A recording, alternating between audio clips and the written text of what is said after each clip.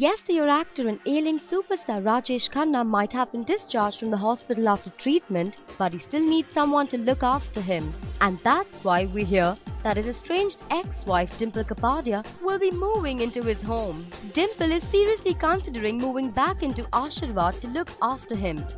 Incidentally, while you might be raising eyebrows, let us tell you that she never divorced the veteran actor.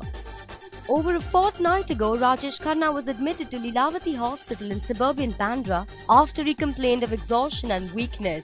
Earlier in April, Khanna was admitted to the hospital for 3-4 days after he complained about the same. The actor had recently appeared in his first television ad for Havells directed by ace ad filmmaker R. Balki. Like this video and don't forget to subscribe to our channel Bollywood Backstage and share your comments and tell us what do you think. Should Rajesh Khanna retire from Bollywood or should he be making a comeback?